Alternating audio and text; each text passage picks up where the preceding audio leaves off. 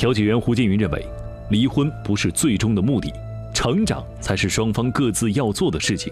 听过这些，汪女士是会坚持果断离婚，还是努力尝试解决目前婚姻中的问题？进入密室之后，汪女士还是忍不住抱怨内心的委屈。他爸跑到我店里来说：“小孩现在是小孩子小，小孩子大了，随便你们怎么离。其实来这里也是他爸妈的，我跟他吵架，他打了我一巴掌，打了我的聋了几天听不到。他说我他们家里人说我装的，他爸还跑过来说我。显然，对于婚姻，汪女士曾经是有过不舍和留恋的。只是杨先生和家人始终不懂得如何以正确的方式来挽留。随即，观察员李小云试图劝说汪女士重新看待下杨先生。他这个妈男是一方面他很得宠，但是另外一方面你发现了没有，在得宠的同时，他在这个家里是没有什么话语权的。对，今天你看到你老公从开始到后面的变化吗？没注意，没看他。对呀，因为你的心已经完全被你的痛苦和你的愤怒所蒙蔽了。他一开始还在为自己辩解，后来老师们说到他的时候，他就是一直惭愧的低着头，而且他就是觉得我就是错了。他这种认错，他也不是一次两次，我不想再给机会了。对于丈夫杨先生，汪女士依旧没有了信心。此时场上，杨先生开始了自我反思：是真的，我没做到一个做丈夫的责任，因为我工资有这么高，嗯，赚的钱真的不知道花到哪里去了。如果还会在一起，我希望我这个工资让他好好去经营一下。我没有做到一个很好的父亲的这种榜样的力量，我应该要去去怎么去弥补他，怎么样去安慰他，而不是说啊，我就把我的工资给你。不是的，他要的是你除了给他之后，你怎么样去跟他一起去经营和规划，而不是说我把我的工资啊给了你，你去负责房贷，你去负责家里所有的开支。那他还要你干什么呢？如果说想要去挽留这段婚姻，你需要去弥补，你需要告诉他啊，之前我在某些方面确实是因为不成熟。杨先生反思的高度和方向还是不尽如人意。观察员吴静觉得，杨先生对待婚姻的认识如此短浅，与原生家庭的过多干预和保护脱不了干系。随后，吴静将杨先生的父亲叫到场上一起沟通。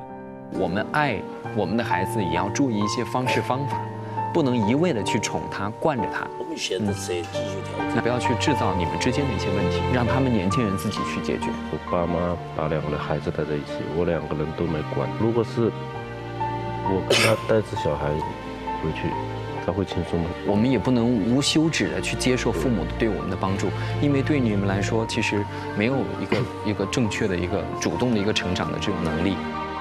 过去十年，因为杨先生父母的包干，杨先生缺乏了责任和担当，以致婚姻走到崩溃的边缘。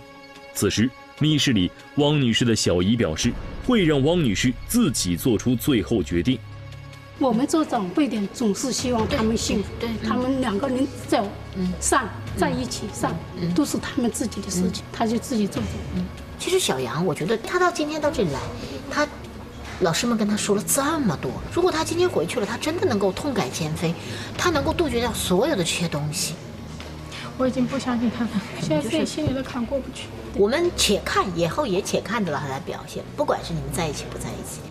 对于杨先生，汪女士似乎已经不抱希望。那么密室出来之后，他会坚定自己离婚的决定吗？杨先生又会呈现怎样的状态？我们节目继续，做好决定了吗？下一步怎么办？经过这次，我知道自己错误，也知道自己亏欠了老婆。这些年没做一个负责任的男人，更没担得起这个家。我希望老婆能给我一个机会。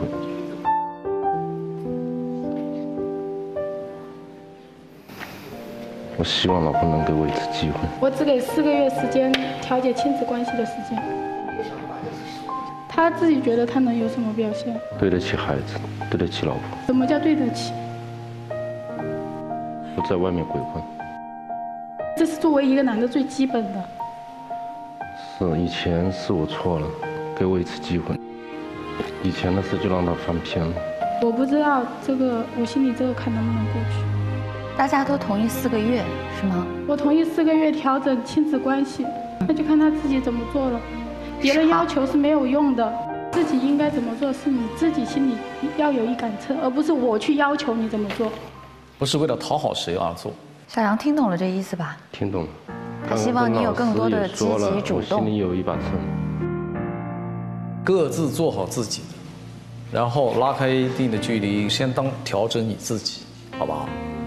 对，因为确实有调整的地方，要真正要一个成长的样子，不要太多去牵扯家人。呃，家人呢也给你们一定的空间，关键是看你的了，啊，嗯。四个月的时间可以一成不变，也可以改头换面，而这取决于杨先生有没有意识到家的重要性，有没有感悟到婚姻的真谛。婚姻里需要的是责任，是担当。牢固的婚姻必定是夫妻双方在生活的各个方面各司其职，互相支持和信任，像齿轮般相互磨合、相互承载。